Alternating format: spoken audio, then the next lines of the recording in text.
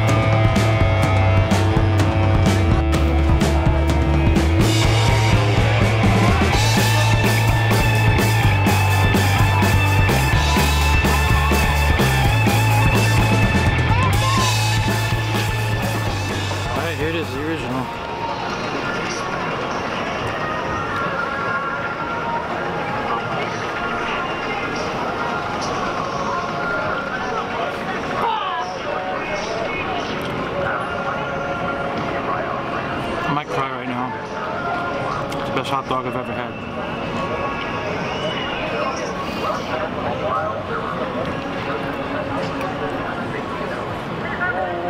I didn't want to ruin it, so I put just mustard on it, just Nathan's mustard, which is a deli mustard.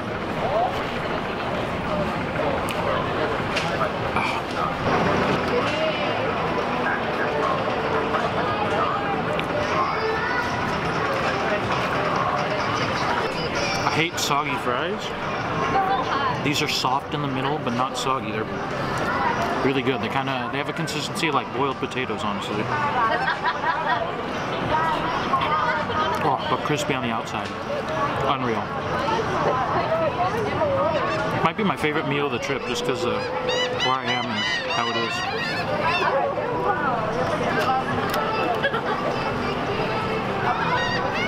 Oh, and that lemonade too. Good lord, so sweet.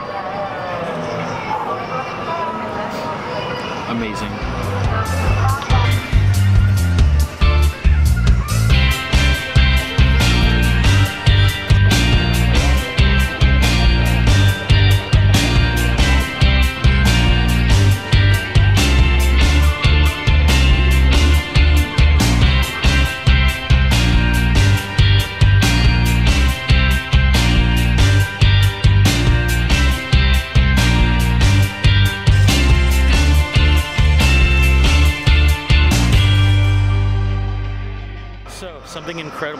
I was eating my dog.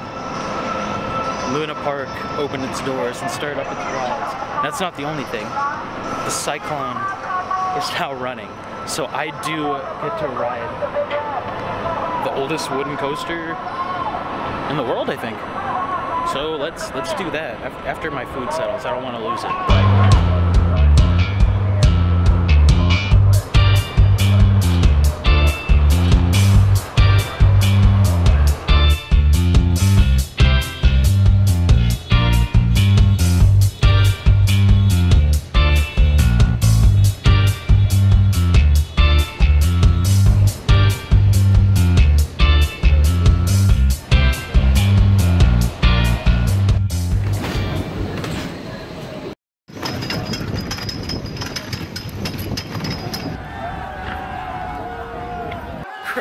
That was way more exciting than I thought it would be. That was actually uh, really intense. I got thrown all over the place. Might be bigger, better, badder wooden coasters, but that was an amazing experience. I had so much fun on that ride. Makes Ghost Rider seem like a children's ride. I got thrown every which way. There's no seatbelt, just a lap bar. The seats are cushioned, but that was uh, one of the most extreme rides I've ever been on. I thought I was gonna like lose everything out of my pockets, etc., etc. But that was totally worth it. So much fun. I'm so glad I got to ride the world's oldest wooden roller coaster. That was amazing. Shout out to the Sand Dinkler. We'll do we'll do it one day.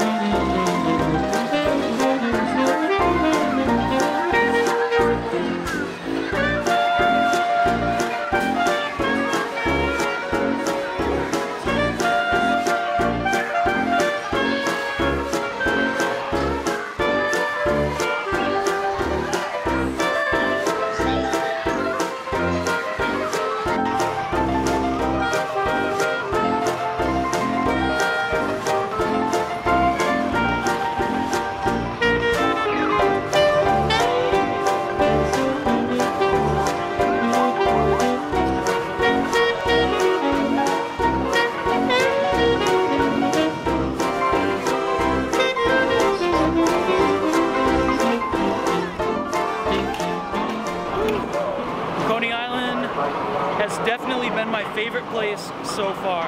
I've had such a blast here.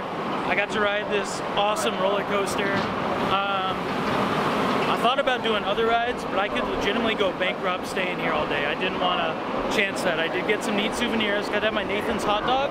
But for now, I'm going to go back to Manhattan and I'm going to see what kind of trouble I can get into on New York on a Friday night. Let's do that. That sounds